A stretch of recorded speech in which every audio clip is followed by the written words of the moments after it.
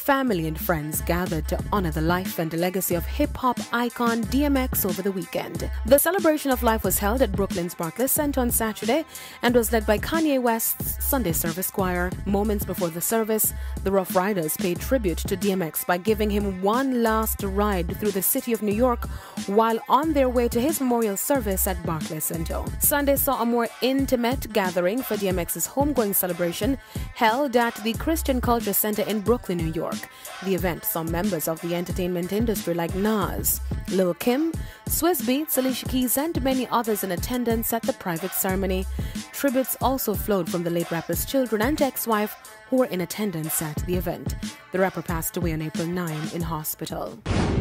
The artist known as H.E.R. dropped her collab with US superstar Chris Brown.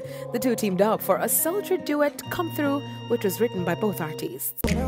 H.E.R. was recently in the island with DJ Khaled as they teased tracks for his upcoming album. H.E.R. has had a successful year as she secured a Grammy for her politically charged record, I Can't Breathe. H.E.R. also won her first Oscar for Best Original Song at the 93rd Academy Awards on Sunday night. She took the award for Fight for You from the film Judas and the Black Messiah.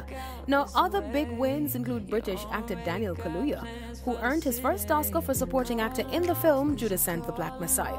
Soul, starring Jamie Foxx, also won for Best Animated Feature Film and Original Score. Now, Netflix drama Ma Rainey's Black Bottom, starring the late Chadwick Boseman, was awarded for costume design and makeup and hairstyling, and My Octopus Teacher won for Best Documentary Film. I'm Deidre reporting for Eat Prime. Thank you for